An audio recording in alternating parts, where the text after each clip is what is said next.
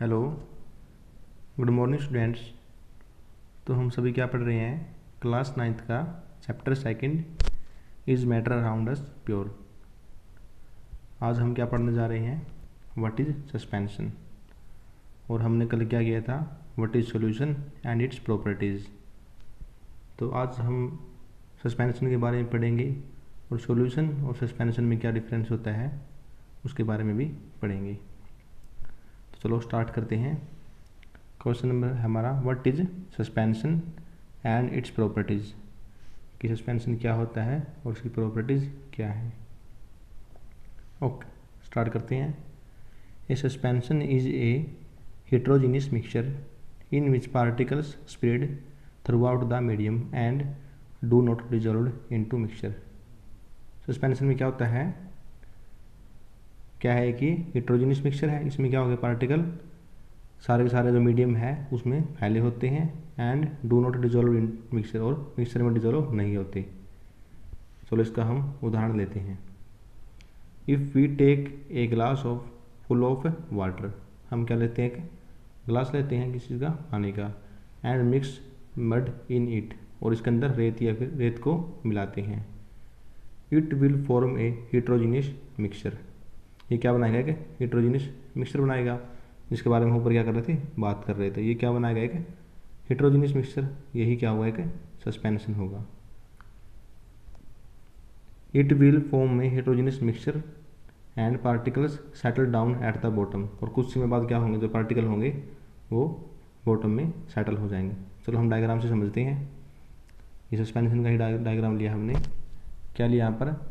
कोई बिकर लिया है सबसे पहले? या फिर गिलास उसके अंदर क्या है? वाटर है। तो उसके बाद हम उसके अंदर साल्ट सॉरी साल्ट नहीं सैंड को, रेत को हम डालेंगे। तो क्या होगा? शुरू में तो जो रेत है इसके अंदर, इस तरह से होगा पार्टिकल्स जो मीडियम है इसके अंदर फैल जाएँगे। जो हमने डेफिनेशन में पढ़ा है कि particles spread throughout the medium तो यहाँ पर देखो, जो पार्टिकल्स हैं सारे सारे मीडियम में फैल गए and do not dissolve into mixture और जो मिक्सचर है इसके अंदर घुल तो नहीं रहे, क्योंकि हमें दिखाई दे रहे हैं तो यहाँ पर और हम क्या देखेंगे? कुछ समय के बाद हम क्या देखेंगे कि जो पार्टिकल्स हैं रेत के, वो नीचे बॉटम में आ जाएँगे सारे के सारे पार्टिकल्स ठीक है? अगर इस टाइप का हमारे पास जो मिक्सर होगा, हम उसको क्या बोलेंगे? सस्पेंशन क्या बोलेंगे हम उसको? सस्पेंशन तो हमने कल किया था वट इज़ सोल्यूशन सोल्यूशन में क्या होता है? हम वाटर में साल्ट या फिर शुगर को मिक्स करते हैं। हम उसके कारण देखते हैं, उसमें ना तो वो दिखाई देते हैं। हमें और इसमें क्या होगा सस्पेंशन में? इसमें सभी के सभी कण दिखाई देते हैं हमको। एक डिफरेंस तो ये हो गया उसका सॉल्यूशन का और सस्पेंशन का। अब हम आगे क्या पढ़ते हैं? What is properties of suspension suspension is a heterogeneous mixture because they do not completely dissolved क्या है एक हेट्रोजीनियस मिक्सचर है? क्यों? क्योंकि इसके जो पार्टिकल्स हैं वो कम्प्लीटली डिजोल्व नहीं होती। हमने ऊपर देखा ही है कि वाटर में हम रेत को मिक्स करेंगे तो वो कम्प्लीटली मिक्स नहीं होगा। लेकिन सोल्यूशन में क्या होगा? सोल्यूशन क्या एक होमोजीनियस मिक्सर है, उसमें क्या होता है? हमने जो प्रीवियस क्लास में टॉपिक किया था, उसमें जो साल्ट या फिर शुगर के पार्टिकल्स हैं, वो कम्प्लीटली मिक्स हो जाते हैं वाटर में। होता होमोजीनियस इसमें मिक्स नहीं होते तो ये क्या है कि हिट्रोजीनियस मिक्सचर है। प्रॉपर्टी दूसरी कौन सी है the particles is larger than 100 m m in diameter. जो पार्टिकल का साइज़ है, वो 100 एम एम होगा किसमें डायमीटर में।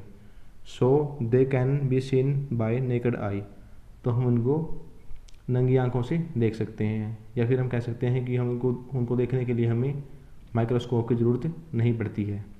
लेकिन सोल्यूशन में क्या होगा? अगर हमने शुगर या फिर साल्ट में को मिक्स कर दिया पानी में तो मिक्स करने के बाद हम शुगर को नहीं देख सकते।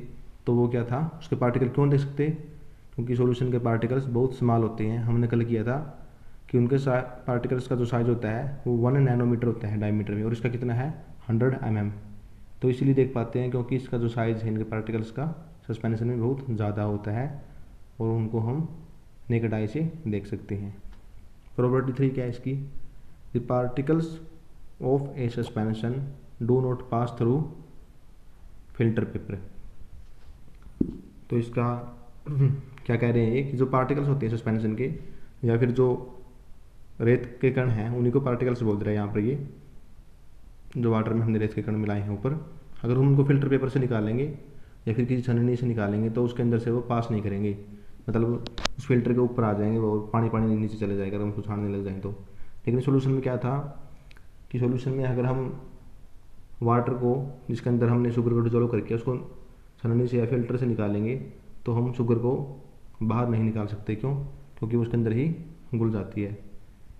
तो इसका क्या है कि अलग the particles of a suspension do not pass through filter paper ये फ़िल्टर पेपर के अंदर से हम इसको पास नहीं कर सकते। ये क्या हो जाएँगे? ये बाहर उसके ऊपर इकट्ठा हो जाएँगे छन्नी के ऊपर। ये अंदर नहीं मिलेंगे वाटर के। क्यों नहीं पास कर सकते? क्योंकि ये इसके अंदर डिजोल्व नहीं होते हैं वाटर के अंदर। अगर डिजोल्व होते तो तो ये फ़िल्टर पेपर के अंदर से पास करे जा, कर जाते। प्रॉपर्टी फोर क्या है? Particles of suspension scatter a beam of light passing through it अब क्या होगा? अगर हमने किसी वाटर में रेत को या फिर सैंड को मिलाया है, उसके अंदर से हम बीम लाइट की बीम को निकालेंगे तो उसके अंदर से लाइट का बीम जो पास कर जाएगा और पार्टिकल्स क्या कर देंगे? स्कैटर कर देंगे लाइट को। लेकिन सोल्यूशन में क्या था? लाइट का बीम था जो पास नहीं हो पा रहा था। ये क्या है उसका? अपोजिट है। इसमें जो रेत के कारण है, जो पार्टिकल्स हैं, वो क्या कर देंगे उसको? बीम ऑफ़ लाइट को स्कैटर कर देंगे या फिर फैला देंगे। प्रॉपर्टी फाइव कौन सी है? The suspension is unstable the particles of suspension settle down after some time इन्होंने ये अनस्टेबल क्यों कहा है? क्योंकि ये हर समय एक समान नहीं रहता। जो चीज़ हर समय एक समान रहती है, वो होती है स्टेबल लेकिन ये क्या है? अनस्टेबल क्यों? क्योंकि हमने कोई भी वाटर लिया, उसके अंदर हमने सैंड या फिर रेत को मिला दिया। हम देखेंगे कुछ समय के बाद जो रेत है वो नीचे बॉटम में आ जाएगा सारा सारा। तो वो स्टेबल तो नहीं हुआ। इसी कारण ये क्या है? सस्पेंशन क्या है? अनस्टेबल है। स्टेबल क्या होगा? स्टेबल तो जिस तरह हम सॉल्यूशन वाला एग्जांपल ले रहे हैं कि किसी वाटर में हमने साल्ट को या फिर शुगर को मिक्स कर दिया। हम देखेंगे कि उस सॉल्यूशन को हम कितनी देर भी रखें, वो चेंज नहीं होगा। जो साल्ट या शुगर है वो नीचे नहीं बैठेगा। क्यों? क्योंकि उसके अंदर वो मिक्स कर चुका है। लेकिन सस्पेंशन में क्या होता है? पार्टिकल्स डिजोल्व नहीं हो पाते। इसी कारण वो कुछ समय बाद अगर हम उसको एक जगह पर रखेंगे तो कुछ समय बाद वो एक जगह पर आकर नीचे बॉटम में आके इकट्ठा हो जाएँगे।